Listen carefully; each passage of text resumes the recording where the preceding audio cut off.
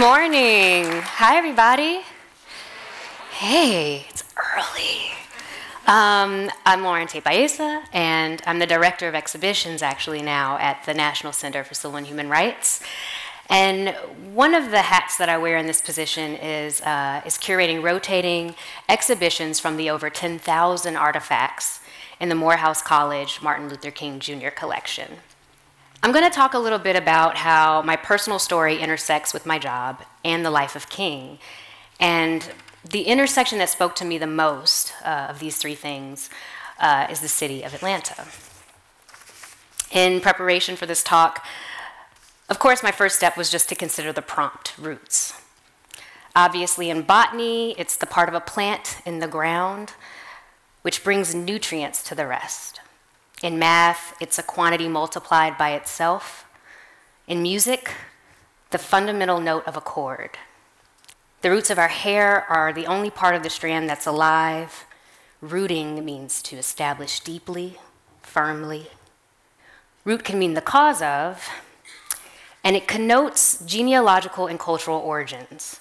And in this regard, it gives reference to place, a homeland or hometown.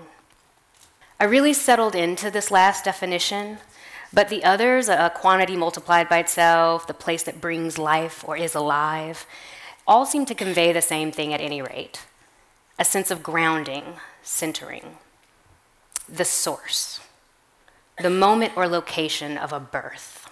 And this can be physical, spiritual, temporal, but roots as a physical space speaks to me the most, both professionally and personally. And perhaps that's because museums are concerned with space.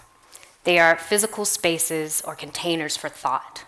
And these include the sort of internal dialogue that you're having as you're prompted by the content on display as you experience it, intentional conversations through programming and activations, as well as a nonverbal fellowship that you're having with the people around you as you experience this.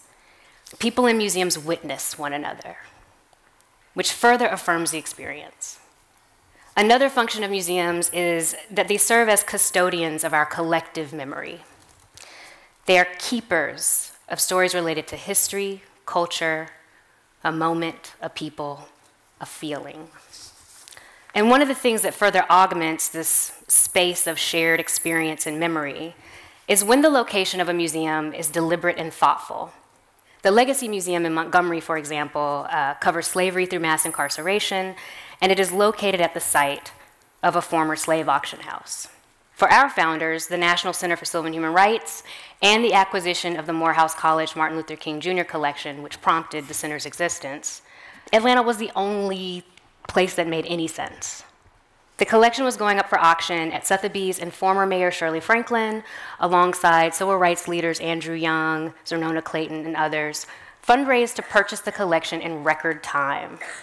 And this served two purposes we owe them a great deal of gratitude for. One, it kept the collection together so it could have its own context, as opposed to having some pieces of the collection in one place and some pieces in another, which would make scholarship really difficult uh, and exhibition difficult because portions of a complete idea would be scattered in these disparate places of the world. And it would have rendered these irreplaceable king materials abstractions or representations of king instead of comprehensive stories. And two, it kept our hometown hero home. The importance of place and origin is that it provides meaningful nuance to stories in a manner that can't be duplicated. This is why we see heated debates in the museum world now about an Egyptian artifact going to a London museum, for example, or a medieval Ghanaian cultural object housed in Berlin. The controversy is based on a concern that the context is lost and that the storytelling around the object is provided by people far removed from the object's functionality and spiritual or cultural purpose. I studied African history in university, and the amount of incorrect labeling you see in museums in North America and Europe would surprise many of you.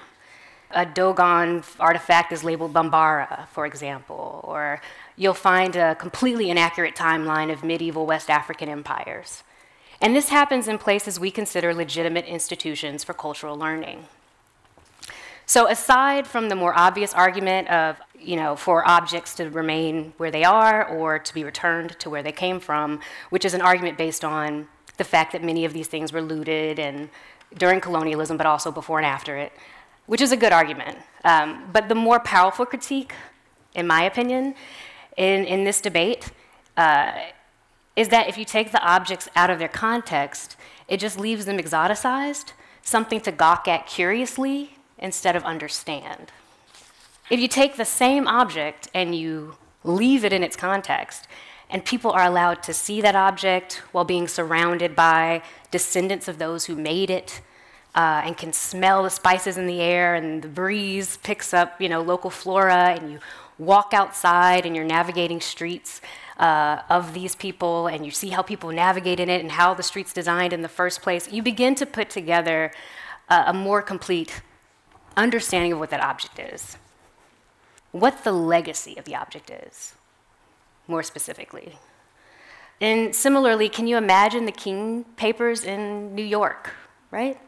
It just doesn't, doesn't quite make sense, or in Toronto or something. You've, you've taken it out of the place where you can really understand it. You have to be here and see the papers, and then you get it. Place is important. It's not all that we are. Surely we are also shaped by the journey and the places we go. But the significance of your starting place cannot be denied.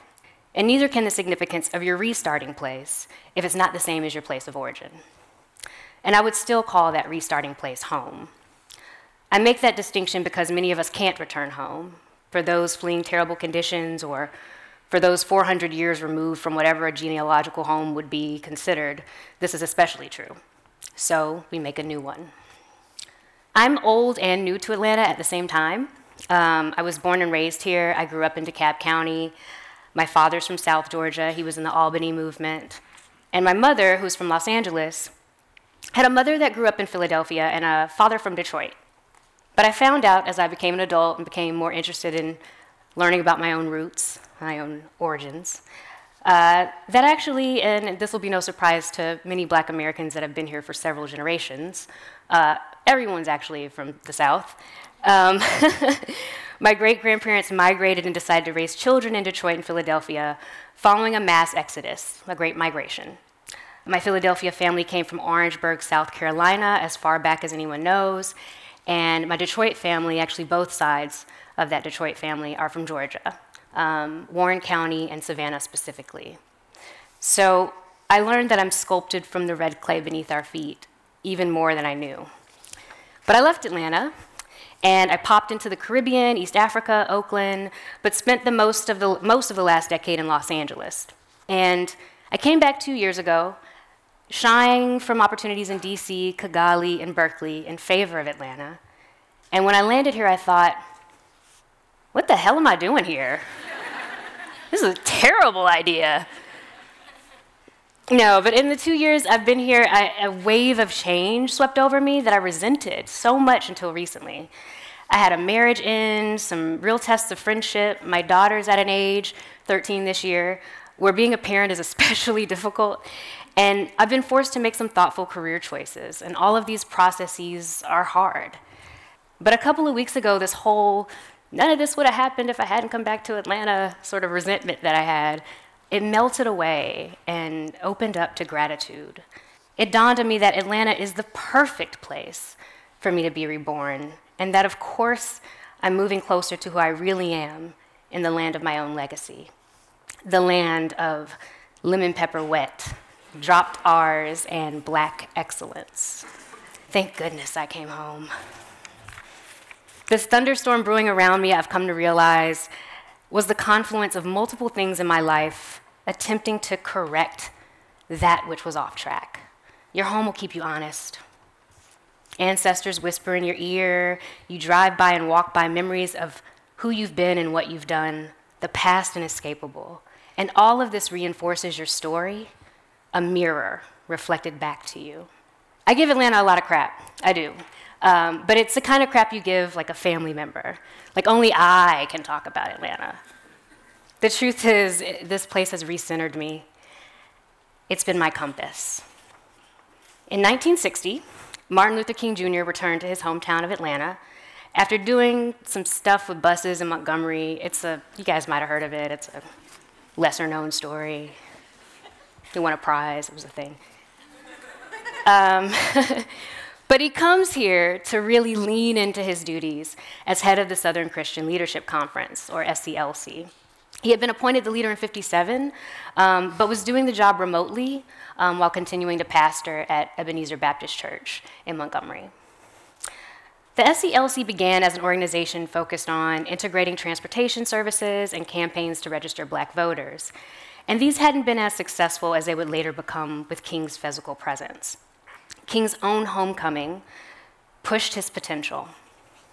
The argument can be made, and has been made, of course, that the black freedom struggle in the United States couldn't have happened without Atlanta. The city is often referred to as the birthplace of the civil rights movement. And I'd like to add that the black freedom struggle could not have been as impactful or resulted in the immediate legislative changes that it did without King being in Atlanta. And I don't know that those connections are always made. Atlanta has and had this incredible academic legacy in the Atlanta University Center. The historically black institutions of Clark, Morehouse, Morris Brown Spelman, and Atlanta University enabled the city to produce generations of college educated and middle class African Americans in a manner that changed how the city functioned with regard to race.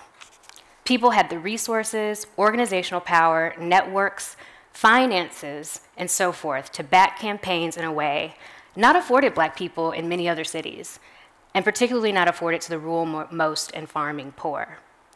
Atlanta's 1881 washerwomen strike and streetcar boycotts from the 1890s to the 1910s are a couple of examples of African American led direct action that were successful here due to the organizing and financial support of black churches, black fraternities, and mutual aid societies that thrived here after the Civil War. So, the AUC, and Atlanta's strategic location as a hub for trade and movements of people presented ideal circumstances for underwriting and absorbing the impact of these types of political and social risks. King was a legacy of AUC, a graduate of Morehouse himself, a child of a business district that embodied black wealth, that is, Auburn Avenue. He returned to Atlanta where he co pastored Ebenezer Baptist Church alongside his father and where his maternal grandfather had pastored before that. A plant in incompatible soil will lean over, it won't stand. Its roots won't grab hold. A plant with shallow roots will have the same fate.